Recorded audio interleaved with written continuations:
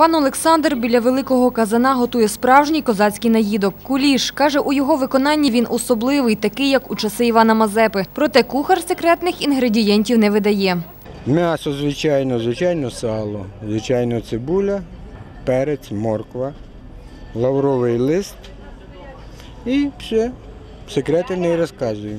Скуштувати козацького куліша перед початком вистави прийшла і пані Наталія. Смакує вам каша? Дуже смачна, Куліш. дуже корисна, дуже смачна. Рецепт вже дізналися? Так, повар сказали.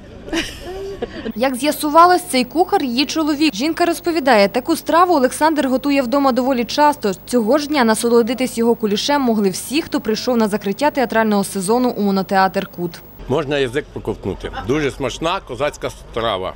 Дуже приємно, що вона повертається. Для організму корисно і традиції бережуться. Побачити Івана Мазепу в інтерпретації Володимира Смотрителя прийшло не надто багато глядачів. Однак ті, хто все ж завітав, чекають виступу єдиного актора. Сам же Володимир Смотритель каже, довго готувався до цього дня. Коли ми її створили, це було 6 років тому назад, е, вона перебувала під е, такою недоброзичливістю.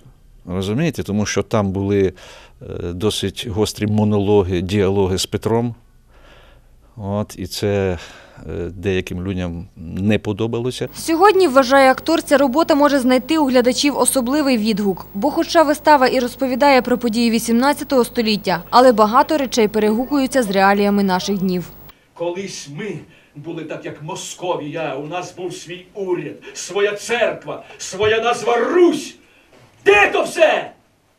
У міжусобицях згубили, самі себе завоювали.